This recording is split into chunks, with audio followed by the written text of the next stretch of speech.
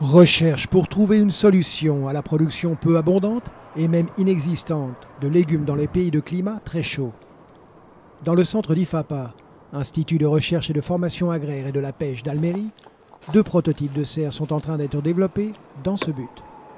Va a permitir eh, que eh, las producciones en zonas eh, cálidas, zonas áridas y, o zonas semiáridas se pueda ampliar la producción. Pensamos que puede ser fundamental para países como los del Golfo, ¿no? que tienen climas muy extremos.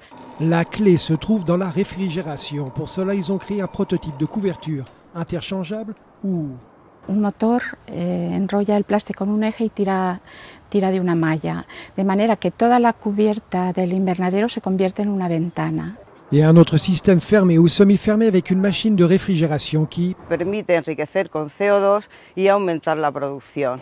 En suppléant ainsi la carence de CO2 qui existe dans l'atmosphère, située en dessous du niveau optimum pour le développement des cultures les pays à très haute température pourront cultiver tomate, el pimiento, pepino.